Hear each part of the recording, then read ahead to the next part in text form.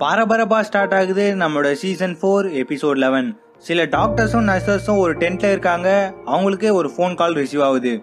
அந்த ஃபோன் காலை ரிசீவ் பண்ணதுமே அந்த டாக்டர்ஸும் நர்சஸும் ஸ்ட்ரக்சர் எடுத்துட்டு அந்த டென்ட்டை விட்டு வெளியே வராங்க. வெளியே அவங்க ஓடி வந்து பார்த்தா அங்க ஜெஸ்ஸி காரை ஓட்டிட்டு வர்றாரு. வேகமா அவரோட ஆர்ன வச்சுட்டு அவர் வந்துட்டு இருக்காரு. அந்த கார்ல இருந்து நம்மளோட அன்கான்சியஸா இருக்கிற நம்மளோட கஸ்ட் அந்த டாக்டர்ஸும் நர்சஸும் எடுக்கிறாங்க. ஸ்ட்ரக்சர் எடுத்துட்டு அந்த டென்ட்டுக்கு உள்ள போறாங்க. ஆனா அந்த டாக்டர்ஸும் நர்சஸும் நம்ம மைக்கை ஒரு பொருட்டாவே கண்டுக்கல. அப்போ நம்ம ஜெஸ்ஸி இவனை என்னடா பண்றது? இவனை சேர்த்து காப்பாத்துங்கடான்னு சொல்லிட்டு அவர் கதறாரு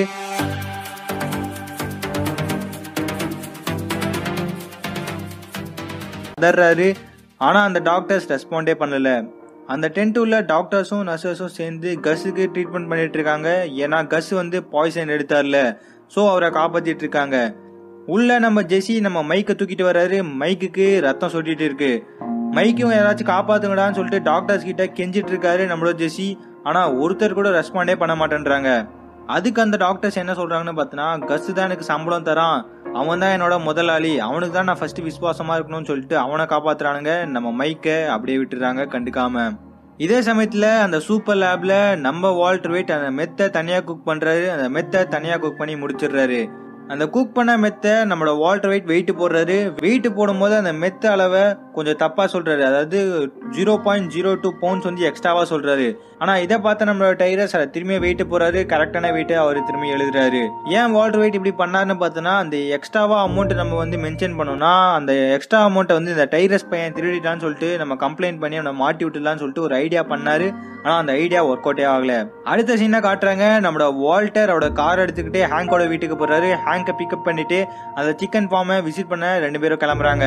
அந்த இயக்கத்தை பத்தி ஏதாச்சும் நியூஸ் தெரிஞ்சுதான்னு சொல்லிட்டு நம்மளோட வால்டர் வெயிட் ஹேங்க் கிட்ட கேட்கிறாரு அதுக்கு நம்மளோட ஹேங்க்கு ஒரு பெரிய சண்டை வந்து நடந்தது. அதுல நிறைய பேர் வந்து செத்து போயிட்டாங்கன்னு சொல்லிட்டு நம்ம வால்டர் வெயிட் கிட்ட அவர் சொல்றாரு. நம்ம வால்டர் வெயிட் மூஞ்சில இருக்கிற காயத்தெல்லாம் பார்த்து நம்மளோட ஹேங்க் அதை பத்தி எப்படா எனக்கு கிட்ட சொல்ல போறேன்னு சொல்லிட்டு கேக்குறாரு. ஆனா அதுக்கு நம்மளோட வால்டர் வெயிட் இதை பத்தி எதுவுமே கேட்காத நான் யார்கிட்டயும் எதுவும் சொல்ற மாதிரி இல்லைன்னு சொல்லிட்டு அவர் சொல்லிடுறாரு. இதே சமயத்துல மெக்சிகோல அந்த டென்ட்ல நம்மளோட மைக்கை காட்டுறாங்க. நம்மளோட மைக்குக்கு பிளட் கொடுத்துட்ருக்காங்க. அப்போனா மைக்கு இன்னும் சாகல. ஆனா அந்த டாக்டர்ஸ் மைக் வந்து பல வாரம் ரெஸ்ட் எடுக்கணும்னு சொல்றாங்க. அவர் நடக்கிறதுக்கு முன்னாடி. நம்ம ஜெசி அந்த டென்ட்ல அவங்களுடைய மூணு பேருடைய ரத்தமும் இருக்கிறத பாக்குறாரு. அப்போ இது எல்லாமே நம்மளோட கஸ்ஸோட மாஸ்டர் பிளான் தான் சொல்லிட்டு இருக்காரு கஸ் என்ன நடக்க போகுதுன்னு சொல்லிட்டு முன்னாடி நினைச்சு வச்சிட்டு இருக்கான் அவன் எல்லாத்தையும் பிளான் பண்ணி பண்ணிட்டு இருக்கான் ஒரு மாஸ்டர் மைண்ட்னு சொல்லிட்டு நம்ம ஜெசி நினைச்சிட்டு இருக்காரு அப்படி அவர் நினைச்சிட்டு இருக்கும் போது நம்மளோட கஸ் ஏஞ்சி வராரு அப்போ அவரும் இன்னும் சாகல. நம்மளோட கஸ் ஜெசியை கூட்டிட்டு வெளியே போறாரு. நம்ம ஜெஸி கிட்ட இன்னும் ஆறு மைல் வந்து நம்ம நடக்க போறோம் டெக்ஸஸ்க்கு போக போறோம்னு சொல்றாரு. நம்ம ஜெஸி நல்லாவே சண்டை போட்டா எங்களை நீ காப்பாத்திட்டேன்னு சொல்லிட்டு நம்மளோட கஸ் ஜெஸியா பாராட்டிட்டு இருக்காரு. இப்போ அந்த சூப்பர் லேபை நீ தனியாலாம் நீயே நடத்துவியான்னு சொல்லிட்டு நம்மளோட கஸ் நம்மளோட ஜெஸி கிட்டே கேக்குறாரு. அதுக்கு நம்மளோட ஜெஸி நீ அந்த வால்டர் வெயிட்டை ஃபயர் பண்ணிட்டு அதாவது வேலையை விட்டு தூக்கிட்டு இல்லைனா அவனுக்கு காசு கொடுத்து செட்டில் பண்ணி அமுச்சு விட்டுரு. அவனை தயவு செஞ்சு கொண்டுறாத அப்படின்னு அவனை கொண்டுட்டேன்னா நம்ம ரெண்டு பேருக்குள்ள ஒரு பிரச்சனை ஸ்டார்ட் ஆக வாய்ப்பு இருக்குன்னு சொல்றாரு. நான் உனக்கு அந்த மெத்தை தனியாலா குக் பண்ணியே தரமாட்டேன்னு சொல்லிட்டு ஜெஸி ஒரு முடிவோட இருக்காரு. நம்ம ஜெஸி என்னதான் வால்டர் கூட சண்டை போட்டாலும் அவரை காப்பாத்திட்டே இருக்காரு. அதே போல நம்மளோட வால்டர் வெயிட்டும் ஜெஸியை காப்பாத்திட்டே இருக்காரு. அடுத்த சீனை காட்டுறாங்க நம்மளோட ஸ்கைல டெட்டோட வீட்டுக்கு போறாங்க. அப்போ நம்மளோட டெட் ஸ்கைலருக்கு தான் கொடுத்த காசை ஒரு செக்கா ரிட்டர்ன் பண்றாங்க. இதை பார்த்த நம்மளோட ஸ்கைலர் ஏன்டா இந்த செக்கை என்கிட்ட கொடுக்குற? போய் அந்த டாக்ஸ் டிபார்ட்மெண்ட்ல பே பண்ற அவனோட பெனால்டிஸும் டாக்ஸும் சொல்லிட்டு சொல்றாங்க.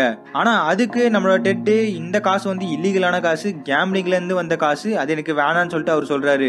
அது மட்டும் இல்லாம நீ கொடுத்த காசை நான் டாக்ஸுக்கு பே பண்ணிட்டேன்னா எனக்கு பிசினஸ் நடத்த எக்ஸ்ட்ரா காசே இருக்காது. எனக்கு எந்த விதமான ப்ராஃபிட்டுமே இருக்காதுன்னு சொல்லிட்டு அவர் சொல்றாரு. இது கேட்ட நம்மளோட ஸ்கைலர் அப்போ நீ எனக்கு பிளாக்மெயில் பண்றியா? இன்னும் அதிக காசு வேணும்னு சொல்லிட்டு என்ன பிளாக்மெயில் பண்ணி என்ன மாட்டி விட போறியான்னு சொல்லிட்டு நம்மளோட ஸ்கைலர் வந்து நம்மளோட டெட்டு கிட்ட கேட்கறாங்க மரியாதை இன்னொரு செக்கை அந்த டாக்ஸ் டிபார்ட்மெண்ட் பேர்ல எழுதி இப்பயே எனக்கு தாடான்னு சொல்லிட்டு ஸ்கைலர் டெட்டு கிட்ட சொல்றாங்க. ஆனா அதுக்கு நம்ம டெட்டு சம்மதிக்கவே இல்லை. இதனால நம்மளோட ஸ்கேலர் கான்ல வெளியே கிளம்பி வந்துடுறாங்க. நம்மளோட சாலுக்கு கால் பண்றாங்க. எனக்கு ஒரு ஹெல்ப் வேணும்னு சொல்லிட்டு சால் கிட்ட அவங்க கேட்குறாங்க அடுத்த சீனை காட்டுறாங்க. நம்மளோட ஜெஸ்ஸியும் கஸும் எங்கேயும் நடந்து போயிட்டு இருந்தாங்களே ஆறு மைல் தூரம் டெக்ஸஸ்க்கு. இப்போ அவங்க எங்க போறாங்கன்னு பார்த்தோன்னா ஒரு நர்சிங் ஹோம்க்கு போறாங்க. அந்த நர்சிங் ஹோம்ல தான் நம்மளோட ஹெக்டர் இருக்காரு. நம்மளோட ஹெக்டர் கிட்ட போயிட்டு நம்மளோட கசி என்ன சொல்றாருன்னு பார்த்தோன்னா அந்த இயக்கத்துல இருக்கிற எல்லா மெம்பர்ஸுமே செத்து போயிட்டானுங்க. நான் தான் எல்லாரும் சாவடிச்சிட்டேன்னு சொல்றாரு. அது மட்டும் இல்லாம உன்னோட பேரன் கூட அங்க இருந்தான். நாங்க எஸ்கேப் ஆகும்போது அவன் என்ன சுட ட்ரை பண்ணா அப்போ அங்க நிக்கிறான்ல ஒருத்தன். அவனோட பேர் ஜெசி அவன் உன்னோட பேரனை சுட்டு கொண்டுட்டான்னு சொல்லிட்டு நம்மளோட ஹெக்டர் கிட்ட அவர் சொல்லிட்டு இருக்காரு. இப்போ நீ மட்டும் தான் இந்த இயக்கத்துல இருக்கிற கடைசி மெம்பர்னு சொல்றாரு. இதெல்லாம் கேட்ட நம்மளோட ஹெக்டர் கொலை கான்ல ஃபோர்ஸ்ஃபுல்லா இருக்காரு நம்மளோட கஸ் மேல. ஆனா அவரால் ஒண்ணுமே பண்ண முடியாது. ஏன்னா அவர் அந்த வீல் சேர்ல உட்காந்துட்டு இருக்காரு. நம்மளோட கஸ் ஹெக்டர் கிட்ட நான் இந்த போர்ல நான் ஜெயிச்சிட்டேன்னு சொல்லிட்டு அங்கிருந்து கிளம்பி போறாரு. அடுத்த நாள் ஆகுது நம்மளோட டைரஸ் ஹேங்கி வீட்டுக்கு போயிட்டு ஸ்பை பண்ணிட்டு இருக்காரு. நம்மளோட வால்டர் ரைட் வழங்க போல நம்மளோட ஹேங்க பிக்கப் பண்ணிட்டு அந்த சிக்கன் ஃபார்முக்கு போறாங்க அங்க போயிட்டு ஸ்பை பண்ண. அப்படி போயிட்டு இருக்கும் போது திடீர்னு நம்மளோட ஹேங்க் வால்டர் வைட் கிட்ட நம்ம அங்க போக போறது இல்ல நம்ம ஒரு லாண்ட்ரி ஃபேக்டரிக்கு போக போறோம்னு சொல்றாரு. இதை கேட்டு நம்மளோட வால்டர் வைட்க்கு ஒரே அதிர்ச்சி ஆயிடுது. ஏன்னா ஹேங்க் மட்டும் அந்த லாண்ட்ரி ஃபேக்டரிக்கு போயிட்டானா கண்டிப்பாக அந்த சூப்பர் லேப் இருக்கிற விஷயத்த அவன் கண்டுபிடிச்சிருவான். அப்படி மட்டும் அவன் கண்டுபிடிச்சிட்டானா எல்லாமே ஸ்பாயில் ஆயிடும் சொல்லிட்டு அவர் நினைச்சிட்டு இருக்காரு. அந்த லாண்ட்ரி ஃபேக்டரியும் கிட்ட வருது. நம்மளோட ஹேங்க் அங்க நிப்பாட்ட சொல்றாரு அந்த காரு ஆனா நம்ம வால்டர் அதெல்லாம் கேட்காம அந்த காரை ஸ்பீடா ஓட்டிட்டு போயிட்டு இருக்காரு. வேணும்னே அந்த காரை ஒரு ஆக்சிடென்ட் பண்ணி விட்டுறாரு. இந்த ஆக்சிடென்ட்னால நம்மளோட ஹேங்கோட கழுத்துல பிராக்சர் ஆயிடுது. நம்மளோட ஹேங்கோட கழுத்துல பிராக்சர் ஆனதுக்கு சாரி சொல்றாரு நம்மளோட வால்டர் வைட் அடுத்த சீனை காட்டுறாங்க நம்மளோட சால் ஸ்கைலருக்கு கால் பண்றாங்க நான் என்னோட ரெண்டு ஆள டெட்டோட வீட்டுக்கு அமுச்சு வச்சிட்டேன்னு சொல்றாங்க. அந்த ரெண்டு ஆள் யாருன்னு பார்த்தோன்னா அவரோட பேர் என்னன்னு பார்த்தோன்னா ஒருத்தர் வந்து பாடி கார்டு இருந்தால சாலுக்கு அவரோட பேர் வந்து ஹியூலு இன்னொருத்தர் வந்து ஹெல்த் இன்ஸ்பெக்டரா இருந்தார்ல ஒருத்தர். அவரோட பேர் வந்து பேட்ரிக் பேட்ரிக்கும் ஹியூலும் சேர்ந்துட்டு நம்ம டெட்டி வீட்டுக்கு போயிட்டு நம்ம டெட்டி கிட்ட ஒரு விஷயத்த சொல்றாங்க. அதாவது six lakh seventeen thousand two hundred and twenty six dollars thirty one சென்ட்ஸுக்கு மரியாதையாக செக் எழுதுறா. அந்த செக்கை அந்த டாக்ஸ் டிபார்ட்மெண்ட் பேரில் எழுதுறான்னு சொல்கிறாங்க இந்த செக்கு கிளியர் ஆகுற வரைக்கும் நாங்க ரெண்டு பேரும் உன்னோட வீட்டுல தான் தங்க போறோம்னு சொல்லிட்டு ரெண்டு பேரும் அந்த டெட்டை மிரட்டிட்டு இருக்காங்க. இதை பார்த்து பயந்து போன டெட் அங்க இருந்து ஓடிலான்னு சொல்லிட்டு ட்ரை பண்றாரு. ஆனா நம்ம டெட் வலிக்கு அங்கேயே கீழே விழுந்துடுறாரு. இதே சமயத்துல நம்மளோட வால்டரை காட்டுறாங்க. அந்த ஆக்சிடென்ட் நடந்த உடனே நாலு நாள் ஆச்சு. நம்மளோட வால்டரைட் அந்த லேபுக்கே போல குக்கே பண்ணல. இப்போ நம்மளோட வால்டரைட் அந்த லேபுக்கு போயிட்டு குக் பண்ண ட்ரை பண்றாரு. அப்போ அவர் ஒரு விஷயத்த நோட்டீஸ் பண்றாரு.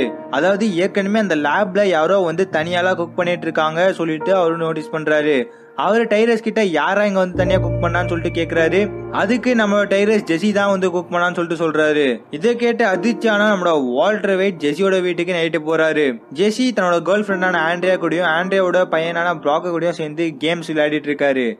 அப்போ நம்ம வால்டர் வெயிட் அங்க வராரு. வால்டர் வெயிட்டா பார்த்தா நம்மளோட ஜெசி ரொம்பவே காண்டாகிறாரு. ஏன்டா இங்க வந்தேன்னு சொல்லிட்டு அவர் கத்திட்டு இருக்காரு. நம்ம வால்டர் வெயிட் அப்போ ஒரு விஷயத்த சொல்றாரு. நீ இப்போ தனியால அந்த லேப்ல குக் பண்ண ஆரம்பிச்சிட்டனா கண்டிப்பா கஸ் என்னை போட்டு தள்ளிடுவான்னு சொல்றாரு. என்ன எப்படியாச்சும் காப்பாத்துன்னு சொல்லிட்டு நம்மளோட வால்டர் வைட் ஜெஸ்ஸி கிட்ட கதறாரு இதை கேட்ட நம்மளோட ஜெஸ்ஸி நான் உங்ககிட்ட வந்து ஹெல்ப் கேட்கும் போது நீ என்னடா சொன்ன? மெக்சிகோ போயிட்டு தப்பு தப்பா மெத்த குக் பண்ணிட்டு அங்கேயே செத்து போடான்னு சொல்லிட்டு சாபெல்லாம் ஊட்டியடா. அதெல்லாம் நீ மறந்து போயிட்டியான்னு சொல்லிட்டு நம்மளோட ஜெஸ்ஸி கேட்டுட்டு அங்கேருந்து கிளம்பி போயிடுறாரு. அங்கே நின்றுட்டு இருக்க நம்மளோட வால்டர் வெயிட்டுக்கு டைரஸ் வந்து ஷாக்கை கொடுக்குறாரு. நம்மளோட வால்டர் வெயிட்டை எங்கேயோ கூட்டிட்டு போறாரு. நம்மளோட வால்டர் வெயிட்டை சாவடிக்க. நம்ம வால்டர் வெயிட்டு எங்கேயோ ஒரு டெசர்ட்ல இருக்காரு. அப்போ நம்ம கஸ் வராரு. நம்ம வால்டர் வெயிட் கிட்ட ஒரு விஷயத்த சொல்றாரு. நான் உன இந்த வேலையில இருந்து தூக்கிட்டேன்டா. இனிமேல்ட்டு நீ என் கண்ணிலே படாத. ஜெஸி கூட எந்த விதமான கான்டாக்டும் நீ மேக் பண்ணக்கூடாதுன்னு சொல்லிட்டு அவர் சொல்றாரு. அதுக்கு நம்மளோட வால்டர் வெயிட் நான் அப்படி ஜெஸி கூட கான்டாக்ட் மேக் பண்ணனா என்னடா பண்ணுவேன்னு தனாவட்ட அவர் கேக்குறாரு. அதுக்கு நம்மளோட கஸ் என்ன சொல்றாருன்னு பார்த்தனா அப்படி நீ ஏதாச்சும் பண்ணனா உன்னோட ஃபேமிலியை நான் ஒவ்வொருத்தராக சாவடிப்பேன். உன்னோட ஒய்ஃபு உன்னோட பையன் உன்னோட சின்ன குழந்தை ஒருத்தர் கூட விட மாட்டேன் எல்லாரையும் சாவடிப்பேன் லைனான்னு சொல்லிட்டு நம்மளோட கஸ் மிரட்டுறாரு. அப்படி மிரட்டி முடிச்சுட்டு அவங்களாம் கிளம்பி போயிடுறாங்க நம்மளோட வால் ரைட்டை அந்த நடு டெசர்ட்ல விட்டுட்டு. நம்மளோட வால் ரைட் அங்கிருந்து வேகமா ஓடுறாரு நம்மளோட சாலோட ஆஃபீஸ்க்கு போறாரு. நம்மளோட சாலோட ஆஃபீஸுக்கு போயிட்டு நீ ஏதோ ஒரு நபரை சொன்னியா அவங்ககிட்ட காசு கொடுத்தனா எல்லா ஃபேமிலிக்கும் ஒரு புது ஐடென்டிட்டியா அவன் உருவாக்கி தருவான்னு நீ சொன்னியே.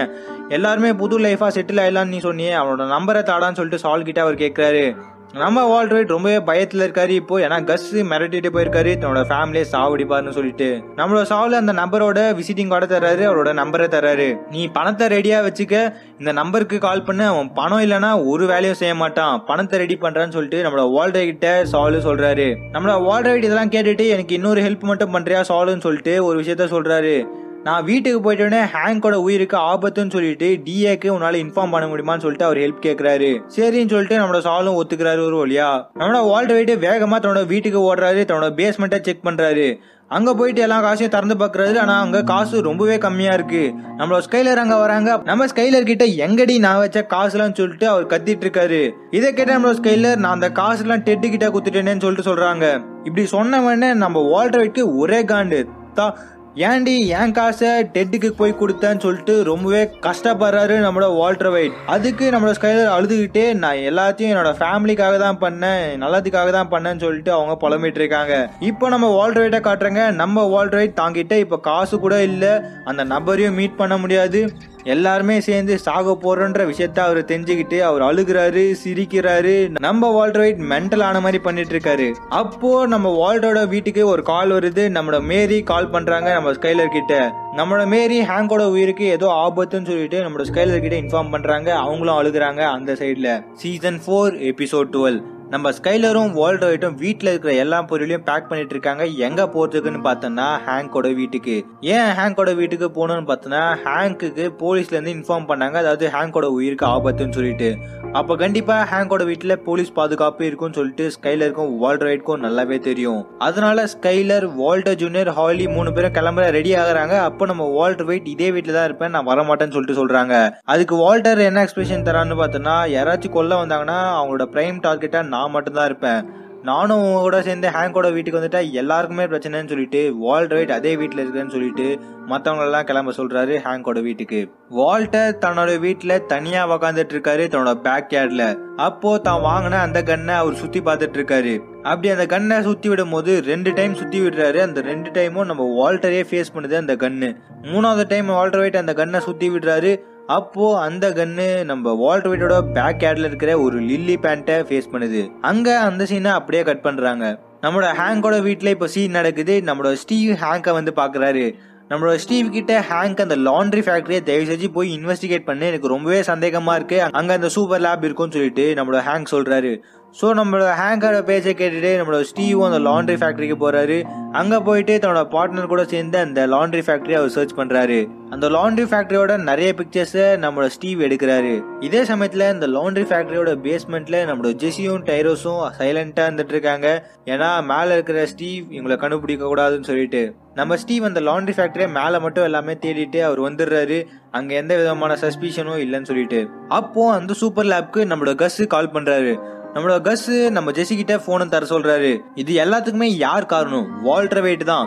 வால்டர் வெயிட் உயிரோட இருந்தானா? இந்த மாதிரி நமக்கு தொடர்ந்து பிரச்சனை வந்துட்டே இருக்கும்னு சொல்லிட்டு நம்மளோட கஸ் ஜெசி கிட்ட சொல்றாரு. சோ நம்ம ரெண்டு பேரும் சேர்ந்து இந்த வால்டர் வெயிட்டை எப்படியாச்சும் சாவடிச்சலாம்னு சொல்லிட்டு கஸ் சொல்றாரு. இது கிட்ட ஜெசி என்ன சொல்றான்னு பார்த்தோன்னா வால்டர் வெயிட் மட்டும் சேர்த்துட்டானா நம்ம ரெண்டு பேருக்குள்ள ஒரு யுத்தமே ஸ்டார்ட் ஆயிடுச்சுன்னு சொல்லிட்டு நீ டிசைட் பண்ணிக்கன்னு சொல்லிடுறாரு. அது மட்டும் இல்லாம நான் உனக்கு அந்த மெத்தையே குக் பண்ணி தர மாட்டேன்னு சொல்றாரு. இதே கேட்டு நம்மள கஸ் என்ன சொல்றான்னு பார்த்தோன்னா அப்ப வேற வழியே இல்ல நான் அதை செஞ்சுதான் ஆகணும்னு சொல்லிட்டு அந்த போனை அப்படியே கட் பண்ணிடுறாரு. அந்த மெத்தை குக் பண்ணி முடிச்சுட்டு நம்மளோட ஜெசி சாலோட ஆஃபீஸ்க்கு போறாரு. ஏன்னா சால் நம்ம நம்ம ஜெஸியை கூப்பிட்டுருக்காரு. அங்க போன நம்ம ஜெஸிக்கு சால் என்ன சொல்றாருன்னு பார்த்தோன்னா கஸ் வந்து இந்த மாதிரி வால்ட்ரோயிட்டோட ஃபேமிலிக்கு கெடு வச்சிருக்கான் அவங்களை எல்லாரையும் கொல்ல போறான்னு சொல்லிட்டு அவர் சொல்றாரு. அது மட்டும் இல்லாம நான் இந்த ஊரை விட்டு கிளம்ப போறேன் உன்னோட காசை நீ எடுத்துக்கூடா ஜெஸின்னு சொல்லிட்டு நம்மளோட சால் சொல்றாரு. இதே சமயத்துல நம்மளோட ஹேங்கோட வீட்டுல சீனை காட்டுறாங்க. நம்மளோட ஹேங்க் ஸ்டீவ் எடுத்துட்டு வந்த அந்த லாண்ட்ரி ஃபேக்டரியோட பிக்சர்ஸ் எல்லாம் அலசி பார்த்துட்டு இருக்காரு. ஏதாச்சும் இன்ஃபர்மேஷன் ஏதாச்சும் க்ளூ கிடைக்குதான்னு சொல்லிட்டு. அப்போ நம்ம ஸ்கைலரை காட்டுறாங்க. ஹேங்க் வீட்ல இருக்காங்க. ரொம்பவே சோகத்துல இருக்காங்க. ரொம்பவே பயத்துல இருக்காங்க. வாட்டர் என்ன ஆக போதும் சரி சொல்லிட்டு அப்போ நம்ம ஸ்கைலர் ஒரு சீக்கிரட்டை எடுத்து பத்த வைக்கிறாங்க அந்த சீக்கிரட்டை பிடிக்கிறாங்க. அடுத்த சீனை காட்டுறாங்க நம்மளோட ஜெஸ்ஸி தன்னோட வீட்டில் இருக்காரு அப்போ ஜெஸ்ஸியோட கேர்ள் ஃப்ரெண்டான ஆண்ட்ரியா ஜெஸ்ஸிக்கு கால் பண்ணுறாங்க இந்த மாதிரி ப்ராக்குக்கு ரொம்பவே உடம்பு சரியில்லை ப்ராக்கை ஐசியூவில் சேர்த்துருக்காங்கன்னு சொல்லிட்டு உடனே வான்னு சொல்லிட்டு ஆண்ட்ரியா ஜெஸ்ஸியை கூப்பிடுறாங்க. இதை கேட்டு நம்ம ஜெஸ்ஸி அலர் அடிச்சுட்டு ஓடுறாரு அந்த ஹாஸ்பிட்டலுக்கு ஹாஸ்பிட்டலில் எல்லா விஷயத்தையும் நம்ம ஆண்ட்ரியா கிட்டேருந்து அவர் கேட்குறாரு ஹாஸ்பிட்டல்லேருந்து வெளியே வந்துட்டு ஒரு சிகரெட் அடிக்கலான்னு அவர் பார்க்குறாரு அப்போ அவரோட சிகரெட் பேக்கெட்டை திறந்து பார்க்குறாரு. அந்த ரைசின் கலந்த அந்த சிகரெட் மிஸ்ஸிங்காக இருக்கு. உடனே நம்மளோட ஜெஸியோட மைண்டுக்கு ஒரு தாட் வருது. அந்த ஹாஸ்பிட்டலுக்குள்ள ஓடுறாரு அலர் அடிச்சுட்டு. நம்ம ஆண்ட்ரியாவை கூப்பிடுறாரு. நம்ம ஆண்ட்ரியா கிட்ட ஒரு இன்ஃபர்மேஷனா அவர் சொல்றாரு. அதாவது பிராக் ஏன் இப்போ உடம்பு சரியில்லாமல் இருக்கானா அவனுக்கு யாரோ பாய்சனை கலந்துருக்காங்க. அந்த பாய்சனோட பேர் ரைசின். இந்த ரைசின்ற கெமிக்கல்னால தான் இவன் இப்படி ஆனான்னு சொல்லிட்டு அந்த டாக்டர் கிட்ட எப்படியாச்சும் இன்ஃபார்ம் பண்ண சொல்லி நம்மளோட ஜெஸி வந்து ஆண்ட்ரியா கிட்ட சொல்றாங்க. அதை சொல்லி முடிச்சுட்டு நம்மளோட ஜெஸி இப்போ வால்டைட்டோட வீட்டுக்கு போறாரு. வால்டர் கஸோட ஆளு யாராச்சும் வருவாங்களான்னு சொல்லிட்டு கண்ணை வச்சுட்டு வெயிட் பண்ணிட்டே இருக்காரு தன்னோட வீட்டுல அப்போ ஜெசி தன்னோட வீட்டுக்கு வராரு. வால்டர்ட்டும் கதவை திறக்கிறாரு. நம்ம வால்டர் ஜெஸி தான் சொல்லிட்டு தன்னோட கண்ணை அந்த டேபிள் மேல வைக்கிறாரு. ஏன் இப்படி பண்ண? நீ தானே ப்ராக்க பாய்சன் பண்ண. அந்த ரைசின் பத்தி நம்ம ரெண்டு பேருக்கு மட்டும் தான் தெரியும். யாருக்குமே தெரியாது. நீ ஏன் இப்படிலாம் பண்ணன்னு சொல்லிட்டு நம்மளோட ஜெசி வால்டர் கிட்ட கேக்குறாரு. இது கேட்ட நம்மளோட வால்டர் வைட் நான் ஏன்டா ப்ராக்கை பாய்சன் பண்ணும் எனக்கு எந்த யூஸராக இருக்குது எனக்கு என்ன கெயின்ரா வரப்போகுது? நான் அந்த சின்ன குழந்தைய சாகடிச்சின்னு சொல்லிட்டு அவர் சொல்லிட்டு இருக்காரு. இதே கிடைச்சிச்சு நீ பண்ணலனா என்ன? நீ சால் கிட்ட சொல்லியிருப்ப சால் அவனோட பாடி கார்டான ஹியூல் கிட்ட சொல்லியிருப்பான் இந்த பாய்சனை அதில் கலக்க சொல்லி. இதை கேட்டால் நம்மளோட வால்டர் வெயிட் இல்லை இல்லை நீ கொஞ்சமாவது புரிஞ்சுக்கூடான்னு சொல்லிட்டு நம்மளோட வால்டர் வெயிட் கதறிட்டு இருக்காரு நம்மளோட ஜெசி கிட்ட. அப்போ நம்மளோட வால்டர் வெயிட் யோசிக்கிறாரு. யோசிச்ச உடனே அவருக்கு ஒரு தாட் வருது. அதாவது இது எல்லாமே நம்மளோட கஸ் தான் பண்ணிருக்கணும். இல்லனா மேபி நீ லேப்ல வேலை செஞ்சுட்டு இருக்கும்போது டைரஸ் உன்னோட கோட் பாக்கெட்ல இருக்கிற அந்த சீக்கிரட்டாக பார்த்துருக்க வாய்ப்பு இருக்கு. அப்போ அந்த கஸ் இதை பார்த்துருப்பான். நம்ம ரெண்டு பேரை பிரிக்கிறதுக்கு தான் இந்த மாதிரி அவன் பாய்சனே கலந்துருப்பான் அந்த ப்ராக்குக்கு ஸோ அப்படி ப்ராக் வந்து இன்ஃபெக்ட் ஆயிட்டானா அதனால நீ என் மேலே கோவப்படுவ நீ என்னை வந்து சுடுவ. அதாவது கஸ் வந்து உன்னை யூஸ் பண்ணி என்ன சாவடிக்க பார்த்துருக்கான். ஏன்னா நீ என்ன சாவடிக்க நீ சம்மதிக்கவே மாட்ட. ஸோ இது எல்லாமே நம்மளோட கஸோட மாஸ்டர் பிளான் தான் சொல்லிட்டு நம்மளோட வால்டர் வைட் ஜெஸி கிட்ட சொல்றாரு. இதெல்லாம் கேட்ட ஜெஸி ரொம்பவே கன்ஃபியூஸ்டா இருக்காரு. ஆனா அவர் கன்வின்ஸ் ஆயிடுறாரு இது எல்லாமே ஒரு கஸோட பிளான் தான் சொல்லிட்டு. நம்ம வால்டர் வைட் ஜெஸி கிட்ட சொல்றாரு என்ன சொல்றாருன்னு பார்த்தோம்னா நம்ம ரெண்டு பேரும் சேர்ந்து அந்த கஸ்ட சாவடிக்க போறோம். நீ எனக்கு ஒரு உதவி செய்யணும்னு சொல்லிட்டு அவர் கேட்கிறாரு ஹாஸ்பிட்டலில் உட்காந்துட்டு இருக்க நம்ம ஜெசிக்கிட்ட டைரஸ் வராது. டைரஸ் வந்துட்டு இந்த மாதிரி லேப்ல மெத்த குக் பண்ணிட்டு பாதியிலே விட்டு வந்துட்டு திரும்பியும் போய் கண்டினியூ பண்றான்னு சொல்றாரு. ஆனா இதை கேட்ட நம்ம ஜெசி நான் வரவே மாட்டேன். ப்ராக்ஸ் ஏரியா வரைக்கும் சொல்லிட்டு சொல்லிட்டு இருக்காரு. ஸோ நம்ம டைரஸும் அங்கேருந்து கிளம்பி போயிடுறாரு. நம்ம ஜெஸ்ஸி டைரஸ் கிளம்பி போனதும் நம்ம வால்டர் வைட்க்கு அவர் டெக்ஸ்ட் பண்றாரு. நம்ம வால்டர் வெயிட் இப்போ என்ன பண்ணிட்டு இருக்காருன்னு பார்த்தோன்னா ஒரு பாம்பை ப்ரிப்பேர் பண்ணிட்டு இருக்காரு. நம்மளோட கஸை போட்டு தரல. நம்ம கசி இப்போ அந்த ஹாஸ்பிட்டலுக்கு வர்றாரு. நம்ம கசி என்ன நினச்சிட்டு இருக்காருன்னு பார்த்தோன்னா கண்டிப்பாக ஜெஸ்ஸி வந்து நான் தான் அந்த ப்ராக்குக்கு இந்த மாதிரி பாய்சன் கொடுத்தேன். பாய்சன் கொடுத்து அவனை இப்படி பண்ணிட்டேன்னு சொல்லிட்டு அவன் கண்டிப்பாக தப்பாக நினச்சிட்டு இருப்பான். ஸோ நம்ம கசி என்ன பண்ணுறான்னு பார்த்தோன்னா ஜெஸ்ஸிக்கிட்ட போயிட்டு நீ இங்கே இருறா ப்ராக்கை பார்த்துக்கோ. ப்ராக் சரியானோடனே நீ மெத்து குக் பண்ண வாடான்னு சொல்லிட்டு அவர் சொல்லிடுறாரு. இப்படி சொல்லிட்டு நம்மளோட கஸ் அந்த ஹாஸ்பிட்டலேருந்து வெளியே கிளம்புறாரு. அப்போ நம்மளோட வால்டர் வெயிட்டை காட்டுறாங்க. நம்ம வால்டர் வெயிட் பக்கத்து பில்டிங் ரூஃப் டாப்ல ஒழிஞ்சிட்டு இருக்காரு நம்ம கஸ் எப்போ வெளியே வருவான் அந்த பார்க்கிங் லாட்டுக்குன்னு சொல்லிட்டு வெயிட் பண்ணி பார்த்துட்டு இருக்காரு ஏன்னா நம்மளோட கஸோட கார்ல ஒரு பாம்பை ஃபிக்ஸ் பண்ணியிருக்காரு நம்மளோட வால்டர் வெயிட் நம்ம கஸோட மனசுல திடீர்னு ஒரு பயம் வருது. திடீர்னு ஒரு இன்ஸ்டிங் வருது. ஏதோ தப்பா நடக்க போகுதுன்னு சொல்லிட்டு. ஸோ நம்ம கஸ் அவரோட கார் கிட்டே போல வேற எங்கேயும் நடந்து போயிடுறாரு. சீசன் ஃபோர் எபிசோட் தேர்ட்டீன் நம்மளோட வால்டர் வெயிட் கஸ் கார்ல வச்ச அந்த பாம்பை போயிட்டு ரெக்கவர் பண்றாரு. அந்த பாம் எடுத்துட்டு நம்மளோட ஜெஸி இருக்கிற அந்த ஹாஸ்பிட்டலுக்கு அவர் போறாரு. ரெண்டு பேரும் பேசிட்டு இருக்காங்க. அப்போ திடீர்னு ரெண்டு டிடெக்டிவ்ஸ் வந்து வராங்க. நம்மளோட ஜெஸியை பிடிச்சிட்டு போறாங்க. உனக்கு அந்த ரைஸ்ன்ற கெமிக்கல் பத்தி என்னெல்லாம் தெரியும்னு சொல்லிட்டு விசாரிக்க தான் அந்த ரெண்டு டிடெக்டிவ்ஸுமே நம்ம ஜெஸியா விசாரிச்சுட்டு இருக்காங்க. அந்த ரைஸ்ன்ற கெமிக்கல் உனக்கு எப்பரா தெரியும்? அந்த ப்ராக்கை அதுதான் பாய்சன் பண்ணுச்சுன்னு சொல்லிட்டுன்னு சொல்லிட்டு கேள்வி மேலே கேள்வி கேட்குறாங்க ஆனால் நம்மளோட ஜெசி ஒரு வார்த்தை கூட பேச மாட்டேன்றாரு. எதா இருந்தாலும் என்னோட லாயர் கிட்ட பேசிக்கிட்டான்னு சொல்றாரு. என்னோட லாயர் பேர் சால் குட்மேன் அவனுக்கு கால் பண்றான்னு சொல்லிட்டு அவர் சொல்லிடுறாரு. இதே சமயத்தில் நம்மளோட வால்டர் வைட் ஜெஸ்ஸியே இந்த டிடெக்டிவ்ஸ் புச்சின்னு போயிட்டானுங்க. ஏதாச்சும் நடக்கிறதுக்குள்ள நம்ம சால் கிட்ட போய் இன்ஃபார்ம் பண்ணலான்னு சொல்லிட்டு அவர் சாலோட ஆஃபீஸ்க்கு போறாரு. அங்கே போய் பார்த்தா நம்ம சாலையே காணும். எங்கடா சாலுன்னு சொல்லிட்டு சாலோட அசிஸ்டன்ட் கிட்டே கேட்குறாரு நம்மளோட வால்டர் வைட் அதுக்கு அந்த சாலோட அசிஸ்டன்ட் என்ன சொல்றாங்கன்னு பார்த்தோன்னா டுவெண்ட்டி ஃபைவ் தௌசண்ட் டாலர்ஸ் கொடுத்தா நம்ம சால் வந்து எங்க இருக்கான்னு சொல்லிட்டு நான் சொல்றேன்னு சொல்லிட்டு சொல்றாங்க. ஸோ வேற வழியே இல்லாமல் நம்மளோட வால்டர் வைட்டு தன்னோட வீட்டுக்கு போறாரு. தன்னோட வீட்டுக்கு போய் பார்த்தா தான் தெரிய வருது தன்னோட வீட்டை ரெண்டு கன்மேன் வந்து சுத்து போட்டாங்க. நம்ம வால்டர் வெயிட் எப்போ வருவான்னு சொல்லிட்டு காத்துட்டு இருக்காங்க. நம்மளோட வால்டர் வெயிட் எப்படியோ அவரோட வீட்டுக்குள்ள நுழையிறாரு. நுழைஞ்சு அவரோட பேஸ்மெண்ட்டுக்கு போறாரு. பேஸ்மெண்ட்ல இருந்து டுவெண்ட்டி ஃபைவ் தௌசண்ட் டாலர்ஸ் அவர் எடுக்கிறாரு. அவரோட வீட்டிலேருந்து இருந்து அவர் எஸ்கேப் ஆகுறாரு. அடுத்த சீனை காட்டுறாங்க. நம்மளோட சால் அந்த போலீஸ் ஸ்டேஷனுக்கு வராரு. ஏன் வராருன்னு பார்த்தா நம்ம ஜெஸியா காப்பாத்துதான். நம்ம ஜெசி நம்ம வால்டர் மீட் பண்ணி பேசுறாரு. அப்போ நம்ம வால்டர் ஜெசி கிட்ட ஒரு ஹெல்ப்பே கேட்கிறாரு உனக்கு ஏதாச்சும் ஒரு இடம் தெரியுமா? அதாவது அந்த கஸ் இருக்கிற இடம். அங்க எதுவுமே செக்யூரிட்டி கேமராவே இருக்கக்கூடாது. அவங்ககிட்ட எந்த கார்ட்ஸுமே இருக்கக்கூடாது. அந்த மாதிரி இடத்துக்கு நீ அவங்க கூட எங்கேயாச்சும் சேர்ந்து போனியான்னு சொல்லிட்டு அவர் கேட்கிறாரு நம்ம ஜெசியும் நல்லா யோசிச்சு பார்த்துட்டு ஒரு இடத்த சொல்றாரு. அதாவது அந்த ஹெக்டர் இருக்கிற அந்த நர்சிங் ஹோமை அவர் சொல்றாரு. ஸோ இதை கேட்டு நம்மளோட வால்ட் வைட் அந்த நர்சிங் ஹோமுக்கு போகிறாரு நம்ம ஹெக்டரை அவர் மீட் பண்ணுறாரு நம்ம ஹெக்டர் வால்டர் வைட்டை பார்த்து செம காண்டாகிறாரு. அதுக்கு நம்மளோட வால்ட் வைட் என்ன சொல்கிறாருன்னு பார்த்தோன்னா உனக்கு என் மேலே செம காண்டா இருக்குன்னு தெரியும். ஆனால் என்னை விட உனக்கு கஸ் மேலே செம கொலை காண்டா இருக்கும். அதனால் உனக்கு அவனை பழி வாங்க ரெடியான்னு சொல்லிட்டு அவர் கேட்குறாரு லேட்டர் அந்த நர்சிங் ஹோமில் ஒரு நர்ஸு கிட்ட ஹெக்டர் வந்து ஒரு மெசேஜை கன்வே பண்ணுறாரு அதாவது அந்த மெசேஜ் என்னன்னு பார்த்தீங்கன்னா நீடு டிஇஏ டிஇஏனா என்னன்னா அது ஒரு போலீஸ் ஆர்கனைசேஷன் மாதிரி. ஸோ அந்த டிஏல இருக்கிற நம்ம ஹேங்குக்கு கால் பண்ணுறாங்க ஏன்னா ஹேங்கை தான் நம்ம ஹெக்டர் வந்து கேட்டுட்டு இருக்காரு. ஸோ நம்ம ஹெக்டரை அந்த டிஏ ஆஃபீஸ் அந்த போலீஸ் ஸ்டேஷனுக்கு கூட்டிகிட்டு போகிறாங்க நம்ம ஹேங்கை மீட் பண்ண. அங்கே போயிட்டு நம்மளோட ஹெக்டர் வந்து ஏதாச்சும் கஸ் பற்றி சொல்லுவாருன்னு பார்த்தோன்னா அவர் பாட்டு நம்ம ஹேங்கை வந்து திட்டிகிட்டு இருக்காரு கெட்ட வார்த்தையில். நம்ம ஹேங்குக்கு ஒன்றுமே புரியல. ஏன் ஹெக்டர் வந்து இப்படிலாம் பண்ணிட்டு இருக்கான்னு சொல்லிட்டு. ஸோ நம்ம ஹெக்டரை அமுச்சு விட்டுறாங்க. ஹெக்டர் அந்த போலீஸ் ஸ்டேஷன்லேருந்து வெளியே வரத நம்மளோட டைரஸ் வந்து நோட்டீஸ் பண்ணுறாரு ஸோ நம்ம ஹெக்டர் கஸை பற்றி எல்லா விஷயத்தையும் போலீஸ் ஸ்டேஷனில் சொல்லியிருப்பான்னு சொல்லிட்டு கஸுக்கு கால் பண்ணி டைரஸ் இன்ஃபார்ம் பண்ணிடுறாரு. ஆனால் உண்மை என்ன? அவர் எதுவுமே சொல்லலை. இதே சமயத்தில் நம்ம ஜெஸி அந்த போலீஸ் ஸ்டேஷனில் இருந்தால அந்த ரெண்டு டிடெக்டிவ்ஸில் ஒரு டிடெக்டிவ் வந்து நீங்கள் வந்து ஃப்ரீ உன் மேலே எந்த தப்புமே இல்லைன்னு சொல்லிட்டு நீங்கள் போகலான்னு சொல்லிட்டு சொல்கிறாங்க நம்ம ஜெஸி கிட்ட. அதாவது என்னன்னா ப்ராக் வந்து ரைஸ்ன்ற பாய்சனால் வந்து பாய்சன் பண்ணப்படலை. டாக்டர் ரிசல்ட் வந்து சொல்லிட்டாங்கன்னு சொல்லிட்டு அவங்க சொல்கிறாங்க ஸோ நம்ம ஜெஸ்ஸியும் அந்த போலீஸ் ஸ்டேஷன்லேருந்து கிளம்பி வெளியே போகிறாரு அப்போ திடீர்னு நம்ம டைரஸ் வந்து நம்ம ஜெஸ்ஸிக்கு ஷாக் கொடுத்து அவரை கடத்திட்டு போயிடுறாரு.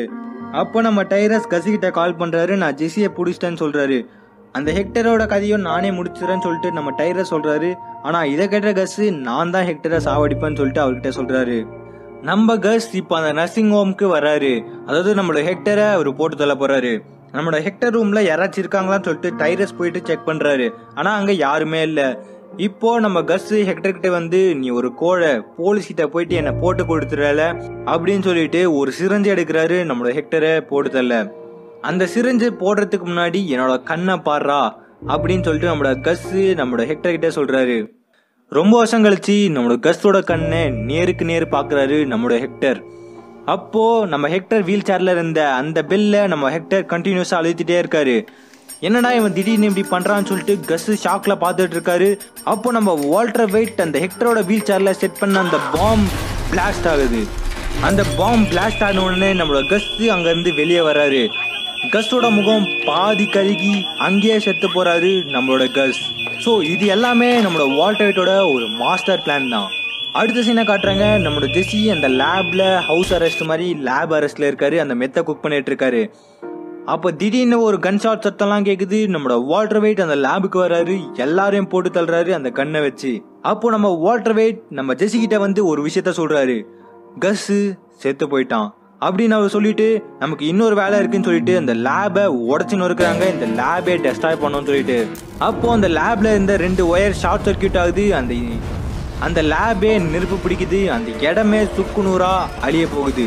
இப்போ நம்ம ஜெஸியும் வால்டர் வெயிட்டும் அந்த லாண்ட்ரி ஃபேக்டரியிலேருந்து ஹீரோ மாதிரி எக்ஸிட் பண்ணுறாங்க லேட்டர் கொஞ்ச நேரம் கழிச்சு அந்த ஹாஸ்பிட்டல் பில்டிங் ரூப் டாப்பில் நம்மளோட ஜெஸியும் வால்டர் வெயிட்டும் மீட் பண்ணுறாங்க நம்மளோட ஜெஸி ப்ராக்கு சேஃபாக தான் இருக்கான் உயிருக்கு எந்த பிரச்சனையும் இல்லைன்னு சொல்லிட்டு வால்டர் வெயிட் கிட்ட சொல்கிறாரு அது மட்டும் இல்லாமல் ப்ராக்கு எதால பாய்சன் பண்ணப்பட்டான்னா ஒரு லில்லி ஃப்ளவரால தான் சொல்லிட்டு அவர் சொல்கிறாரு ஸோ நம்ம கஸ்ஸு ப்ராக்கை பாய்சன் பண்ணலடான்னு சொல்லிட்டு அவர் சொல்கிறாரு ஸோ நம்ம கஸ்ஸை சாவடிச்சது சரியான விஷயமான்னு சொல்லிட்டு அவர் கேட்குறாரு நம்ம வால்டர் வெயிட் கிட்ட. அதுக்கு நம்மளோட வால்டர் வெயிட் கண்டிப்பாக நம்ம செஞ்சது கரெக்டான செயல் தான் அப்படின்னு சொல்கிறாரு இதே சமயத்தில் ஹேங்கோட வீட்டில் நம்ம ஸ்கைலரை காட்டுறாங்க. அவங்க ஃபேமிலி எல்லாமே நியூஸை பார்த்துட்டு இருக்காங்க. அதாவது அந்த நர்சிங் ஹோமில் அந்த பாம்பிளாஸ்ட் அந்த நியூஸை அப்போ நம்ம ஸ்கைலர் வால்டர் வெயிட்க்கு கால் பண்ணுறாங்க இது நீ தானே பண்ணேன்னு சொல்லிட்டு நம்மளோட ஸ்கைலர் கேட்குறாங்க அதுக்கு நம்மளோட வால்டர் வெயிட் நான் இந்த யுத்தத்துல ஜெயிச்சிட்டேன் அப்படின்னு சொல்றாரு. சீசன் ஃபோரோட கடைசி எபிசோடோட கடைசி சீனை காட்டுறாங்க. அந்த கேமரா நம்ம வால்ட் வெயிட்டோட வீட்டோட பேக் யார்டுக்கு ஜூம் ஆகுது. அந்த வால்ட் வெயிட்டோட பேக் யார்டில் ஒரு பிளான்ட்டை காட்டுறாங்க. அந்த பிளான்ட்டோட பேர் லில்லி லில்லி தி வேலி ஸோ இப்போ என்ன கடைசியாக ட்விஸ்ட் வைக்கிறாங்கன்னு பார்த்தோன்னா இதுக்கு எல்லாமே காரணம் நம்ம வால்டர் வெயிட் தான். நம்ம வால்டர் வெயிட் தன்னோட சுயநலத்துக்காக அந்த ப்ராக்கை இந்த லில்லி ஃப்ளவர் யூஸ் பண்ணி பாய்சன் பண்ணாரு. நம்ம ஜெஸ்ஸியை நம்ப வச்சாரு. அதாவது கஸ் தான் ஒரு துரோகின்னு சொல்லிட்டு. அதனால தான் எல்லா சம்பவமுமே நடந்தது. நம்மளோட கஸ்ஸும் ஃபைனலாக செத்துட்டாரு. நம்ம வால்டர் வெயிட்டும் அதை தான் எதிர்பார்த்தாரு. ஸோ நண்பா இந்த மாதிரி கான்டென்ட்டை தொடர்ந்து நான் உங்களுக்கு கொடுத்துட்டே இருப்பேன். இதுக்கு பதில் நான் உங்ககிட்ட இருந்து என்ன எதிர்பார்க்குறேன்னு சொல்லிட்டு உங்களுக்கே நல்லாவே தெரியும். உங்களோட அன்பும் ஆதரவும் மட்டும்தான்.